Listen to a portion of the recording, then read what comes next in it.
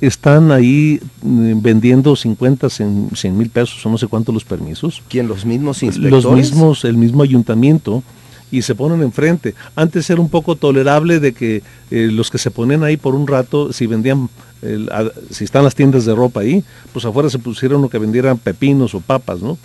E, eso era medio tolerable porque llegaban una hora, dos horas y se iban, ¿no? Pero ahora ya le están poniendo enfrente otras tienditas invadiendo toda con la, misma actividad que hacen los establecidos. Si venden pantalones, se pone otro fuera que vende pantalones. Eso no se vale. Los tianguis los están súper saturando, los riesgos de accidentes son cada vez mayores, los robos que no se detienen. Le pusimos un oficio muy preciso a Ramiro que pusiera orden en estos dos lugares que son fuentes de empleo de miles y miles de familias tapatías.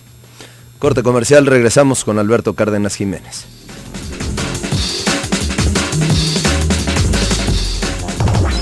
Comenta en arroba Zona 3 Noticias, el Twitter de Zona 3, 91.5 FM. Star Patria, primer y único distribuidor Mercedes-Benz que te ofrece en exclusiva toda la gama clase C 2013 con tres años de servicio gratis, además de atractivos bonos y 13 meses. Están en Zona Deportiva con Omar Pérez Campos y Gabriel Sahagún de lunes a viernes a las 4 de la tarde en el 91.5 FM. Zona 3 esta casa vibra con cuatro latidos que nos tocan el alma. Noche. Soy Arellano, le informo la vialidad sobre Avenida México en estos momentos desde la zona de Terranova con dirección hacia López Mateos, tránsito moderado que se mantiene hasta llegar a la zona de Francisco Javier Gamboa y continuando su recorrido hasta Avenida Chapultepec. En este último tramo, en ambos sentidos de circulación, el tránsito es moderado. Contiene 91.5, la estación del reporte vial. Llegué a Oaxaca a la edad de 12. El legado del cuarteto de Liverpool habita en La Casa del Escarabajo. La Casa del Escarabajo. De lunes a viernes a las 10 de la noche. La música de los Beatles en Zona 3, 91.5 FM. Ejercita tu mente y tu cuerpo en Zona de Entrenamiento. Todos los sábados de 9 a 10 de la mañana con Ariel Leguizamón en Zona 3, 91.5 FM. Un buen apetito para un buen programa. Zona Gourmet. Todos los sábados de 1 a 2 de la tarde con Lorenzo García Guerra. En Zona 3, 91.5 FM la primera revista de sociales del cuadrante hecha por sus protagonistas. Zona H, con Paulo Orendain y Sofía Álvarez, de lunes a viernes a las 5 de la tarde, en el 91.5 FM, Zona 3.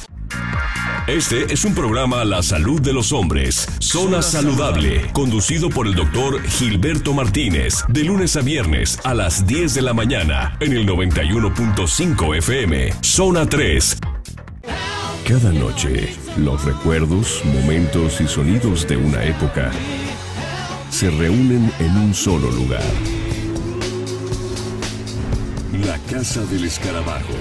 La música de los Beatles en Zona 3. De lunes a viernes a las 10 de la noche. Zona 3. La zona de los Beatles.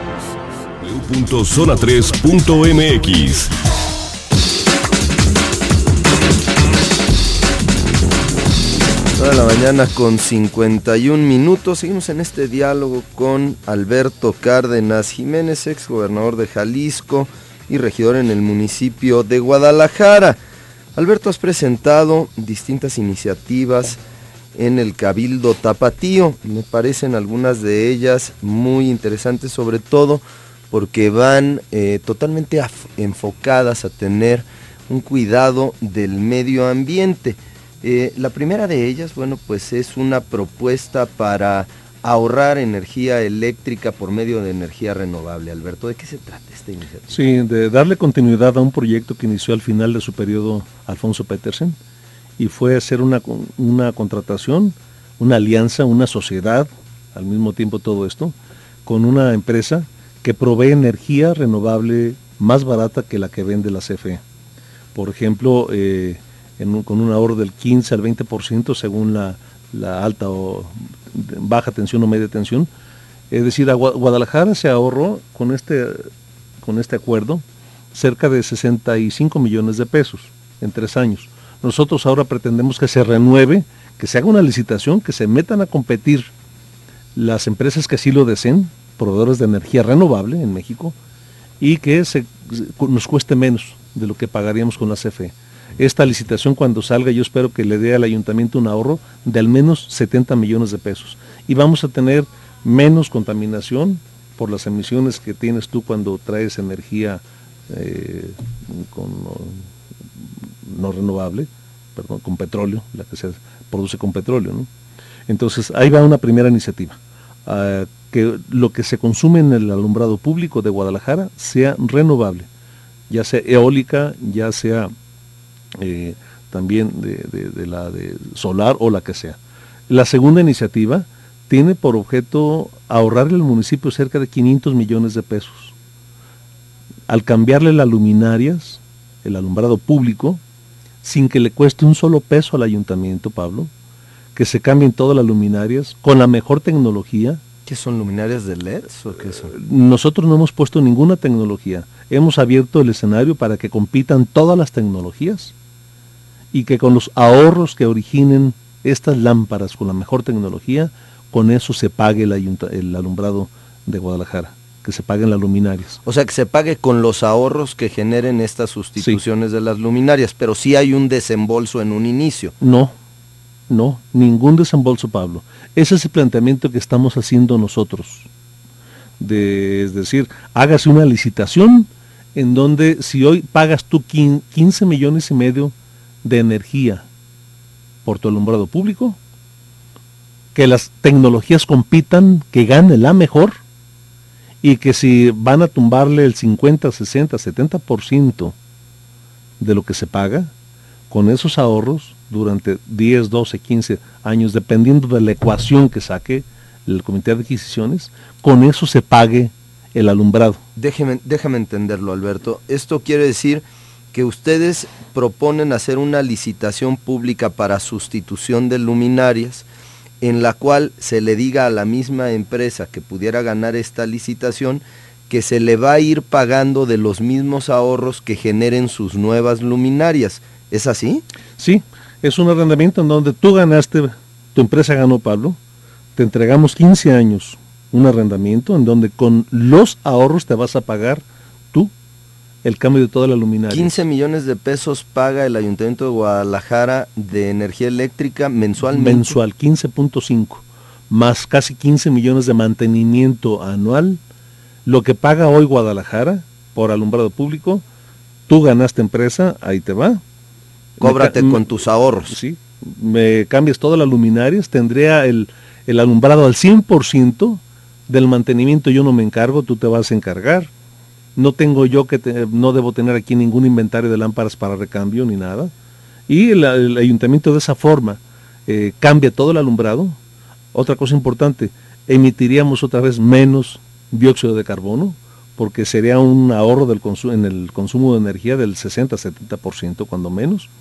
Entonces, menos pesos, menos eh, contaminación, más eh, lúmenes, más iluminación en la noche en todas las calles de Guadalajara, más seguridad, más tranquilidad, menos delitos en la noche.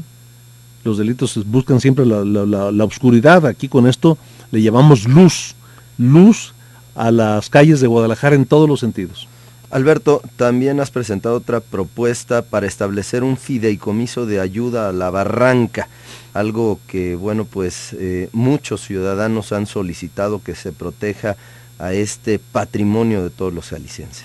Sí, hay un proyecto que se ha venido construyendo en el tiempo, eh, se han presentado ahí dos, tres alternativas y hay una serie de 15, 20 proyectos que se pueden hacer en aquel lado de la ciudad.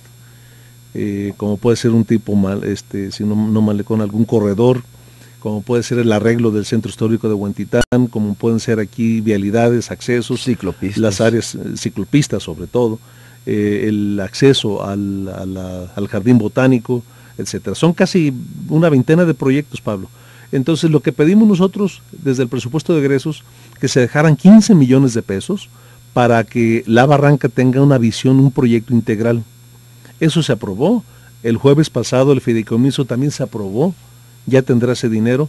Y algo de lo más importante, Pablo, que pretendemos que en toda la barranca, que suma casi 58 mil hectáreas, el doble de la primavera, en el medio y largo plazo construyamos otro sumidero de carbón, que construyamos otro espacio arbolado en la barranca en sus dos lados, en lo que sea posible y donde sea posible reforestar intensamente. Nada de vivienda, ¿verdad? no, no, no, nada. Nada, nada de, desarrollos inmobiliarios. Ni comerciales, nada. Es cuidar totalmente la barranca, 58 mil hectáreas, y que ojalá en 10 años encontremos ahí eh, dos primaveras juntas, ¿no? Esto nos puede ayudar a que tengamos otro pulmón, otro, otro espacio que va a absorber la contaminación de los coches y del transporte público que de aquí aventamos al espacio, ¿no?